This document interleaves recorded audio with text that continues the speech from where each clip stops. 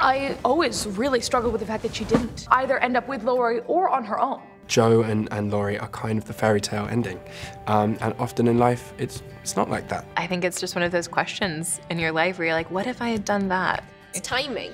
Like there's so many, Yeah. every relationship that we've been in at a different time Yeah. maybe could have worked. You are good enough. You've always been good enough. It's just I can't love you in the way that you want me to. I always wanted her to end up with Laurie.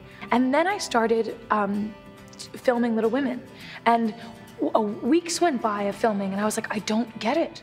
Like, why doesn't she end up with Laurie? I don't get it. I need to answer this question for myself, or else I'll never, never be able to tell this story right. And then I figured it out somewhere through filming.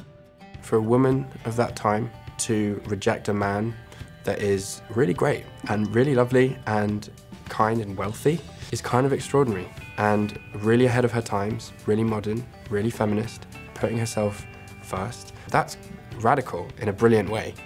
And so I think it's a really powerful moment in the book that shows how ahead of her times Louisa May Alcott was. I've read the book 10 times, I've done the adaptation. I really don't think Jo and Laurie would ever have been happy. And I think the problem you have is most girls reading the book think they are Jo, and most girls reading the book are in love with Laurie. Ergo, every girl wants to marry Laurie, and they think Jo and Laurie should be together.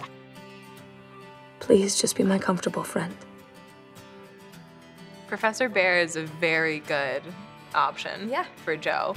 Yes, there is an age gap, but I was very much more aware that there was a marriage of minds between them, and Jo is a woman of the mind. She needs someone who can keep her intellect fed and satisfied.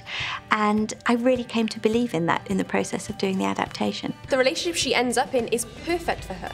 It's so intellectually stimulating and it just seems totally right. And so up until I'd seen them, Yeah. I doubted it and I thought, why isn't Jo with Laurie? But actually, once you see them together, it makes perfect sense to me.